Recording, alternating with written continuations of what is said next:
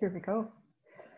Most welcome again. Uh, my name is Dr. Debra Kriger, she, her, and uh, it's my pleasure to um, bring this presentation to you on behalf of the Operationalizing Intersectionality Working Group, uh, E-Alliance.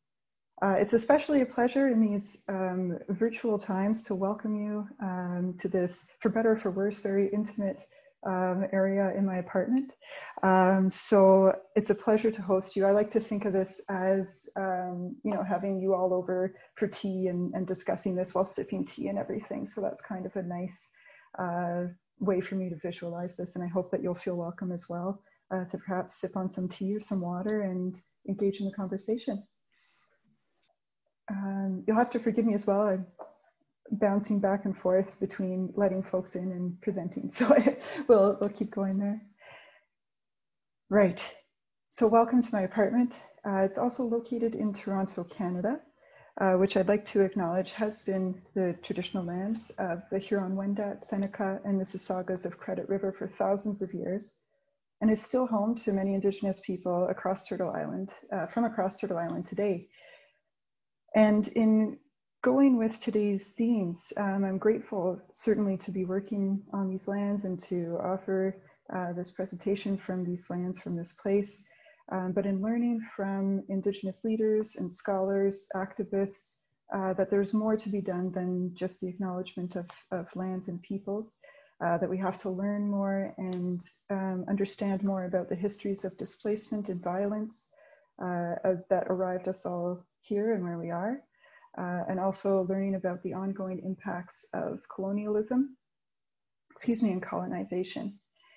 Uh, and in line very much with today's themes, uh, something else that I've been encouraged uh, to do by, by learning from Indigenous leaders uh, is to think about how we can complement our words with actions. So how can we complement this idea of land acknowledgements with actions to intervene in the systems of oppression that are caused by colonization and the impacts thereof? Uh, so hopefully that, that has also um, whetted your appetite for what comes next. Uh, but before we get into the today's presentation, I just want to go over some Zoom etiquette uh, and some virtual etiquette just to clear up um, some things right off the bat. Uh, first is to uh, just remind everyone that we are recording this session and it will be available online uh, shortly, so in the next upcoming days. so please engage as you will. Uh, on that note, I've made it so that your microphone will be muted for the, for the duration of the presentation uh, and will be unmuted in discussion. So once we stop recording, once the presentation's over, uh, then we'll be able to chat with each other um, in person, live, uh, however you want to call that. Um, and also a note to please uh, keep your video off uh, to help with streaming. Um, so just everyone's tuning in from different places. I'm already sharing the PowerPoint, so please uh, do keep your video off for now. Um, I'll keep mine on so I can be a talking head on your screen. Uh, I've also disabled the chat box, you'll notice. Um, regrettably, it's just me as a one person show here today. so uh, I'm gonna try and not distract myself uh, until afterwards, but I do welcome your comments. So please uh, do take notes of them and questions as, as we go along. Uh, two other notes just on this virtual piece. Uh, the first is that if we, for some reason, get disconnected, I always joke that computers seem to have a sixth sense for sensing my presence and stop working. Uh, so if we do, for any reason, get disconnected, my apologies, and please do rest assured that this will be recorded and posted online, and we welcome uh, your comments and connection uh, via email. And the last note is that there is also a simultaneous French uh, webinar on this very topic happening at this very moment uh, from my colleague, Dr. Amelie Keyser-Verreault. Uh, so I regret that the way things have worked out, that if you want to see the French one, um, it will be posted uh, after uh, online along with, excuse me, along with this English version. So uh, welcome to the English version and there will be a French one coming up for folks who wanted to see that there. All right.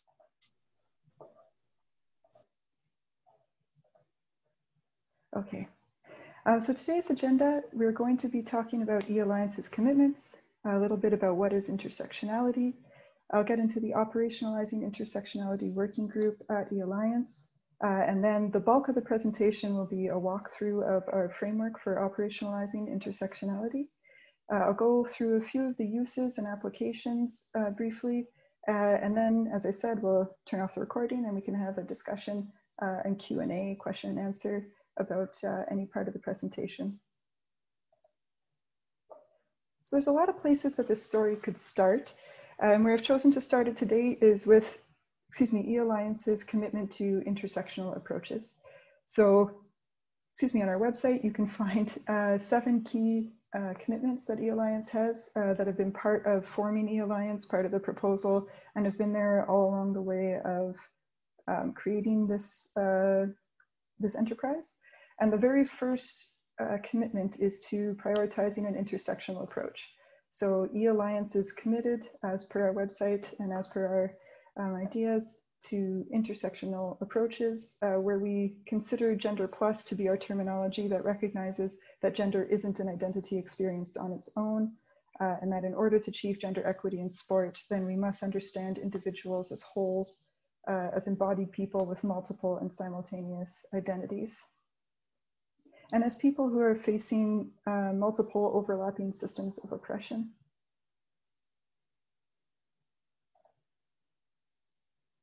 When we talk about this, um, I also want to talk about backing up a moment. Where does this um, where does this commitment to intersectional approaches comes from? And it comes from the idea of intersectionality, which was a concept uh, coined by Black feminist legal scholar Kimberlé Crenshaw in 1989. And Professor Crenshaw, um, again, a legal scholar, noticed through her examination of court cases that there were some patterns. And the pattern goes like this. So there are Black women plaintiffs who are alleging discrimination at their respective companies on the basis of sex and of race. And what would happen is these Black women plaintiffs would go to court and the cases would be wrongfully dismissed uh, because in the law, the uh, anti-discrimination doctrine viewed it as either sex or race. So the people presiding would say, well, at your company, there are, on the basis of sex, there are women, white women who have been promoted, so you can't be being discriminated against on the basis of sex. And on the basis of race, there are Black people, Black men, who are also being promoted, so there's no way that you could be discriminated there. And you can see how that's a wrong argument that uh, these Black women were being discriminated against. And so Crenshaw noticed this and argued for the idea that uh, identity is a simultaneous experience. So there's no additive or separation um, of identities that these women were being discriminated against on the basis of being Black women, not on the basis of one or the other. And what this offers us, intersectionality as a concept, uh, is super crucial um, that we have to see individuals as whole embodied people in context of space, place, and time. So where does that leave us? with a commitment to, uh, to intersectional approaches, with intersectionality at the foundation, this leaves us with the question of how do we implement that commitment? So in sports systems, um, there's already a tension that always persists because sports systems are based on inequities, and then we try to introduce equity. So there's always a tension there. And the question then becomes, what does it mean to take an intersectional approach in this context? How can the Alliance act to fulfill the commitment of understanding persons as whole, simultaneous, simultaneous embodied beings? Another way of framing this question is instead of just telling about our commitment to intersectional approaches, how do we also show that commitment? And how do we make sure that everybody who comes in contact with the Alliance understands that this is what we, that intersectionality and intersectional approaches is what we do and what we're um, interested in?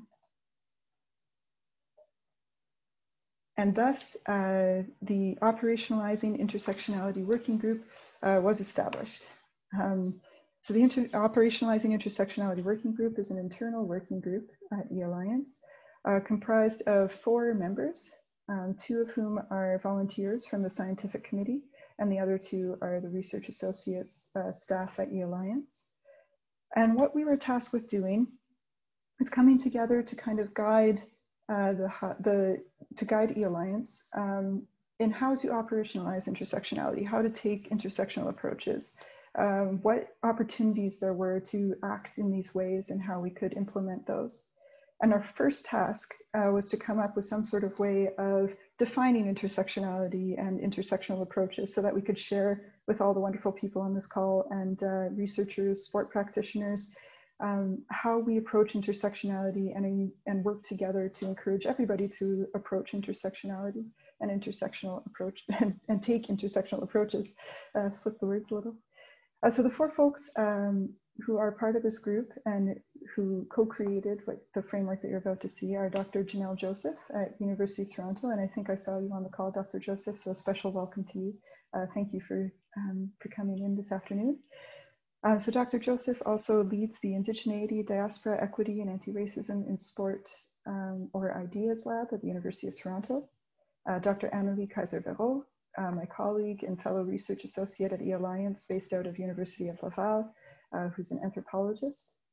Uh, myself, uh, also a research associate at the University of Toronto. Um, I also come from the social sciences or social scientific training, um, especially with regards to embodiment and health risk and how folks embody health.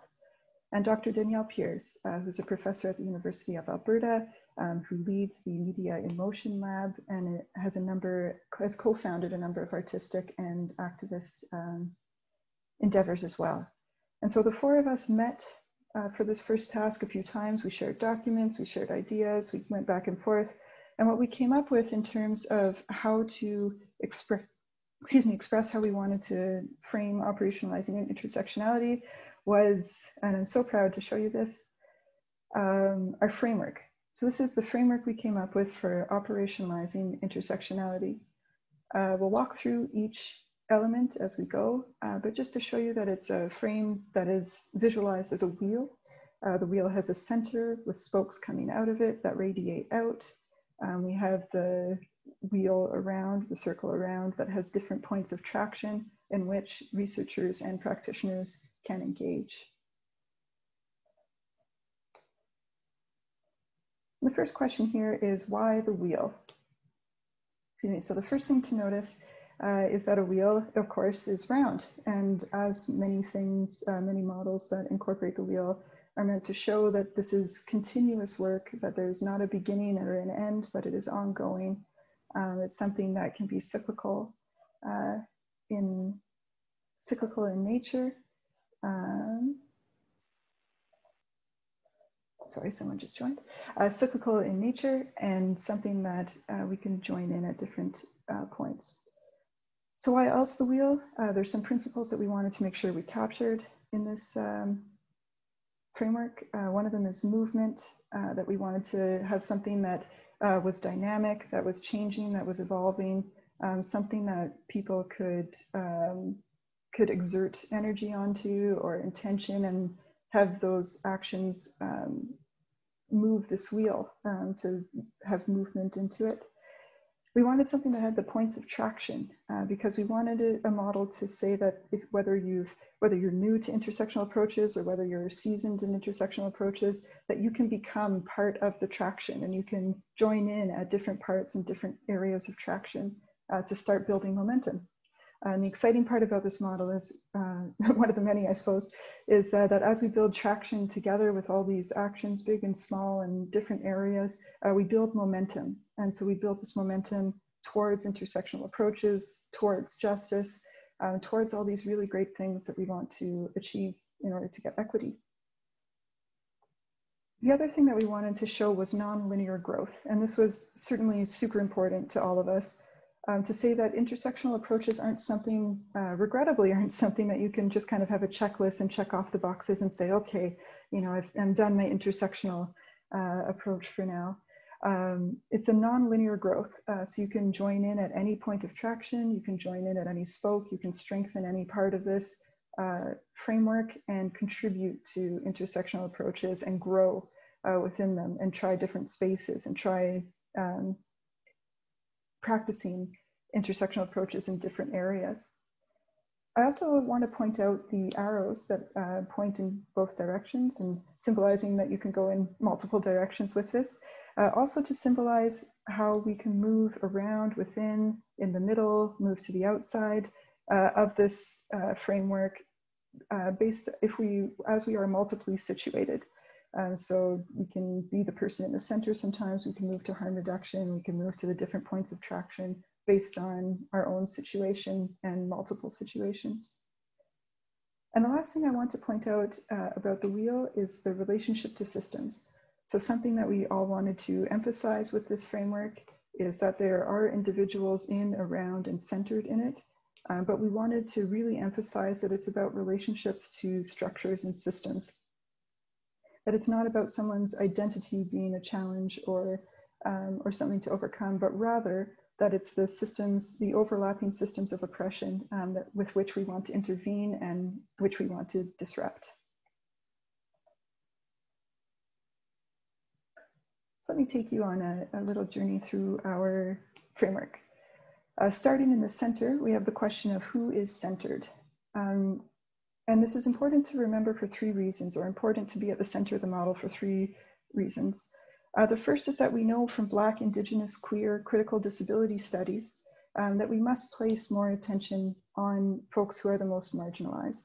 And by doing so, that will actually gain equity um, for all sorts of folks. And so we need to shift this emphasis and remind ourselves, always asking the question, who is centered? The second is that by centering and asking who is at the center, um, often when we ask this question, we focus on identity um, as something that we need to um, help, like someone we need to help or fix. Like this is the group of people that we need to uh, help or fix. And what we wanted to instead emphasize with this model is that the, the framework demonstrates that who is at the center is impacted by the systems around them. So again, going to that idea of relationship to systems, and that there are specific actions around the outside that researchers and practitioners can take um, to disrupt uh, those systems and to intervene in oppressive systems that may be impacting someone in the middle and who we're centering with work. And the last point about the question of asking who is centered is that we want to avoid um, an unspoken center. So often in research, what happens is if we use a, a kind of vague term like girls and women, for example, um, if we're not intentional and specific about who it is that we want to include. So for example, if we want to include um, identities, uh, racial identities, or um, if we want to include people uh, with disabilities, then we have to be specific about that. Otherwise, we're going to end up with, for example, um, white non-disabled women and girls uh, as a stand-in if we don't specify that. So that's why we ask who is centered uh, to keep reminding us of all these things and to be conscious of who it is that we're centering uh, with our work. As we move outwards from the center, uh, we come into the spokes. Uh, and the spokes are supporting characteristics, or the rather supporting characteristics are represented as spokes. Uh, and not that I'm a, an expert on wheels by any means, or uh, or you know anything that would give me. Um, I'm not a physicist, but um, what these spokes do uh, in the wheel is to keep uh, the thanks. Um, they keep a wheel true. they keep a wheel steady. so the role of spokes is to keep a balance and a steadiness to this work um, as we move along. So when we say supporting characteristics represented by spokes, uh, what the supporting characteristics are, are characteristics of an individual, of a researcher, of a sport practitioner that they can strengthen and work upon um, to support uh, and to make sure that we're continually dedicated to and reminded of our commitment to intersectional approaches. And these are things that will also strengthen um, what's on the very outside, which are the points of traction. Um, so these are characteristics that we can work on individually to make sure that we keep in the direction that we want to go uh, and make sure that we stay on course and steady in our commitments. And there are things that you can see here, such as always learning, curiosity, uh, acting, transparency, connection, vulnerability. Uh, prefiguration uh, is one where the idea of prefiguration is that we are acting and living in the world in which we want to, uh, or which we want to create so we're actively creating that world in which we want to live. Um, there are new readings involved, uh, maintaining good relations as per Anishinaabe teachings, uh, which is about maintaining relations with people uh, and living beings around us. And also challenging assumptions. So all these characteristics um, are things that we want to encourage in order to keep us going on these paths. And now we come into the points of traction.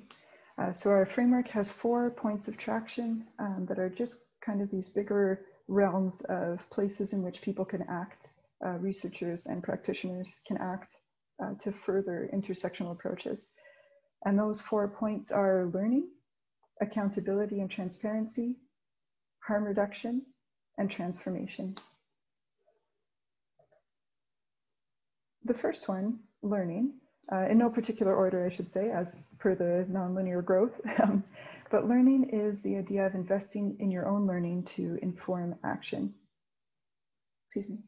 And this includes things like listening to marginalized people, scholars, activists, to reading and connecting outside your field, to join in community with marginalized people where appropriate.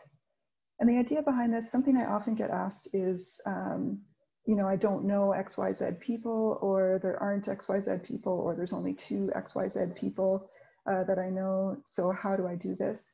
And the good news is that there's tons of resources out there um,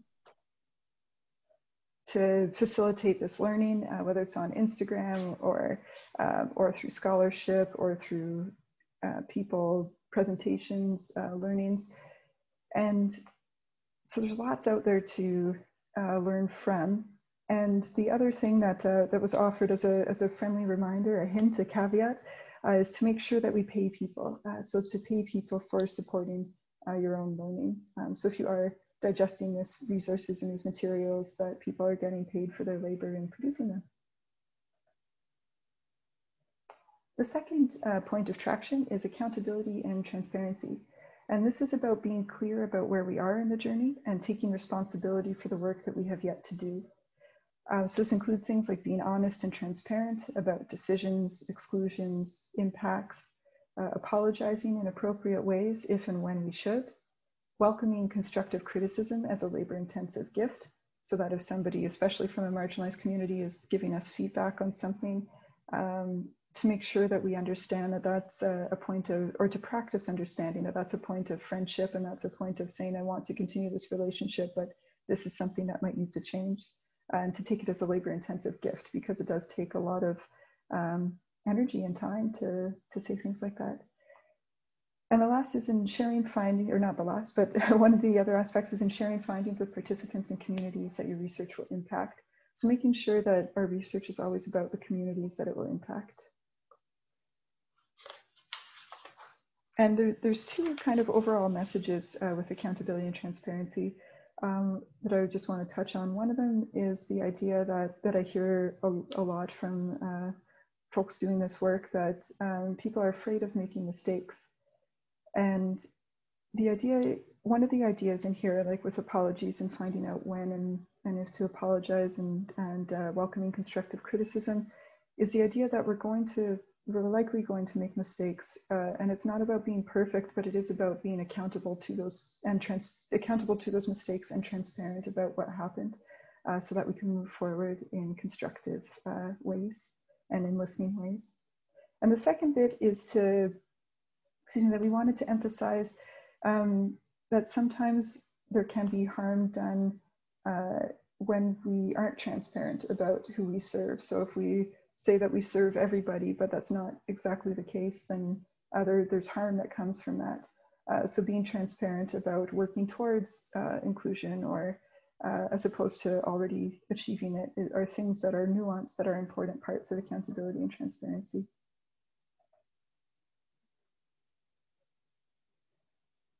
The third point of traction is in harm reduction. Uh, and this point of traction is about uh, shifting the existing systems in ways that reduce the harm. Uh, so harm reduction uh, was very thoughtfully considered um, and it comes from a, a decades long history of activism in the realm of public health and specifically in substance use and addiction. And what harm reduction does is recognize that there doesn't need to be uh, an, an all in or not, like it, it doesn't need to be a system where there's harm or no harm, uh, that actually reducing harm within a system can be and is um, a good way to uh, facilitate uh, health and to facilitate um, survival within a system. So in the harm reduction point of traction, uh, these are actions that acknowledge the harm caused by systems in which we are embedded and take steps to reduce the barriers and minimize inequities within those systems. Uh, so colloquially, uh, it's about making changes uh, within the system to facilitate folks' survivals. In complement, uh, we go to this last uh, point of traction, which is transformation. So in complement to harm reduction, which is working colloquially within the system to affect change, uh, transformation is about changing the system itself. So transformation is about generating deep, creative, and transformative action. Um, so it changes the people involved in, in research and uh, practitioner sport practicing. Um, it changes the research processes themselves and relationships with folks throughout. So this is a really, a, um, when we say transformational, it really means that people are, are changed, people and processes are changed through these um, considerations and through these points of traction. And this is about creating the just world in which we want to live. Uh, so it's about trying new methodologies and approaches that have the potential uh, to have transformative change.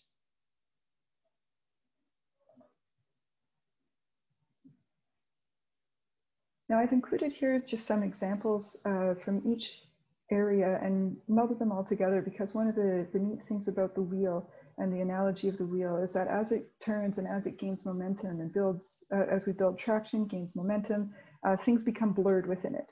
Uh, so from a prospective idea, when we were figuring out this, when we were co-creating this framework, um, there's a lot of things that come up, a lot of characteristics, a lot of ideas that come up, and it's kind of hard to parse them out sometimes excuse me, which is great. Uh, so as we build momentum, we want all of those things to come together and we want all of them to become one whole movement towards uh, incorporating intersectional approaches. And so some of these examples uh, from all the different areas coming together are things like learning about gender identity and expression, acknowledging and naming groups or identities that aren't included in particular research projects. Uh, mentorship is a big one uh, for harm reduction speaking openly about systemic limitations and committing to action towards changing them. So uh, especially in this research, for example, the idea of what does gender mean? And are we talking about binary genders or non-binary genders or all genders? Um, that can be very important to acknowledge uh, in your research and to commit to action towards in more in further inclusion or towards engaging more with the idea of gender.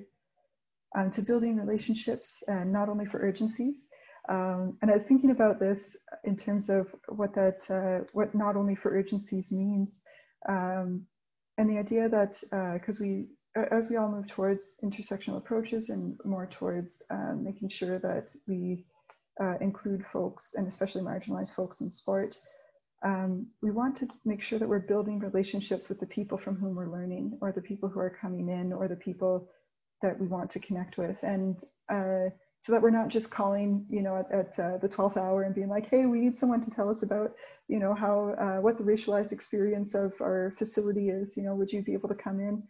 Um, so that, uh, that the way that I, I, kind of thought of a fun analogy that I hope is uh, helpful for folks as well, but thinking about if you had a friend who just called you uh, only when they needed to move, so exclusively when they needed help moving, um, eventually, even if they offered you pizza afterwards, or you know, eventually you might be like, well, this person's only calling because they want me to help them move and they want me to do this labor.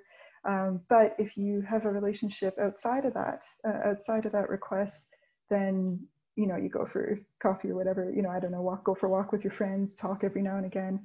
Um, then you can really get to connecting with each other and understanding your needs uh, and having mutual respect, which means that when these requests do come up that they that you know that it's going to be reciprocal you know there's trust there you know there's a connection there um, so these are the the ways that we want to we want to focus on building relationships uh, through all this work um, engaging in methodologies that are new to you perhaps uh, learning about the black and indigenous histories and treaty stories of lands we occupy uh, this is something that personally I've been trying to do more of, uh, especially recently, is unlearn some of the things that I learned um, through my public school, uh, high school education in Canada and uh, hearing the stories and histories and learning about all these um, peoples who were here uh, and how events unfolded.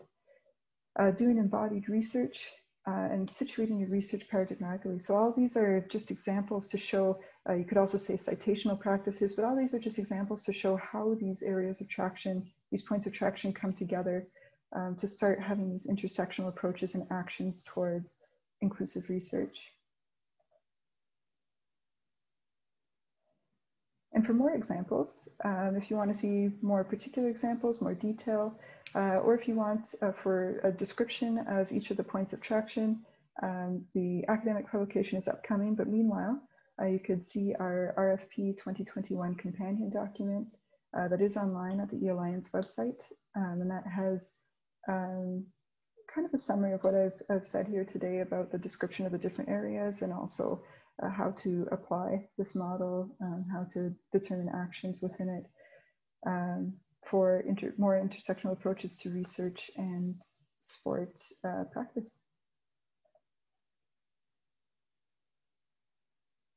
So I'll just end off here with the uses of this framework. Uh, so after going through all those pieces, uh, some of the uses that the Alliance is looking for in this are for research. Uh, so we want to make sure that uh, all research produced through and with E-Alliance has these intersectional approaches uh, intertwined. Uh, one of the ways that we do that, for example, is with our most recent call for proposals in which we required applicants to answer the question of how the project takes intersectional approaches uh, which also that we include this question also requires an evaluative piece of how do we evaluate applications um, so that there is intersectionality at the forefront.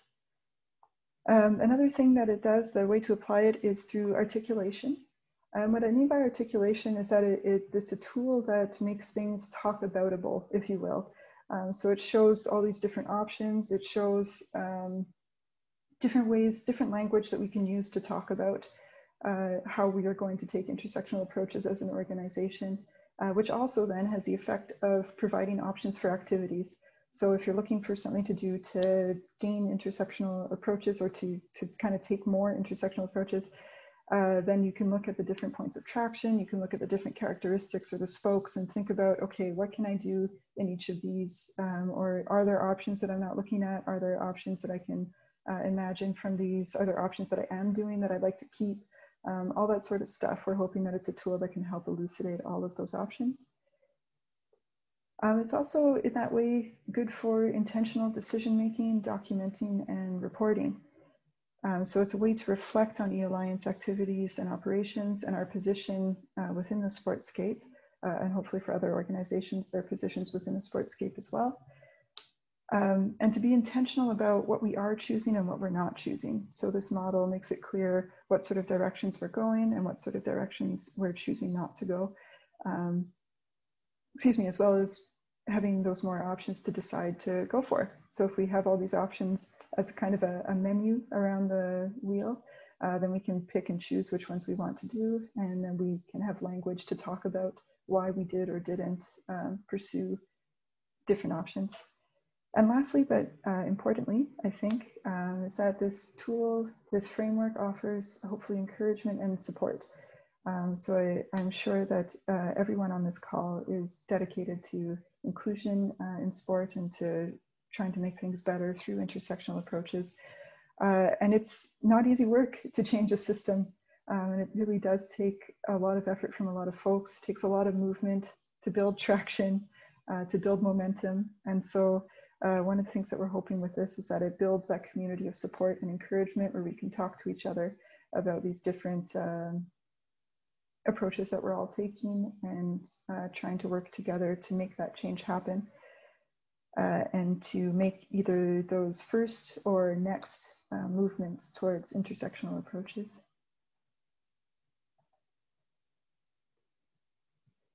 So with that, um, I'd like to say thank you very much for joining um, today.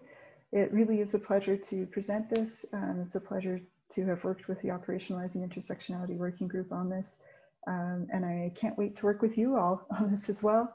Um, so thank you for joining us for this introduction. Um, if you have any further questions, comments, or concerns, please feel welcome to connect as always at info at ealliance.ca. Uh, and as we said, a recording of this session will be available online shortly. Um, so thank you very much.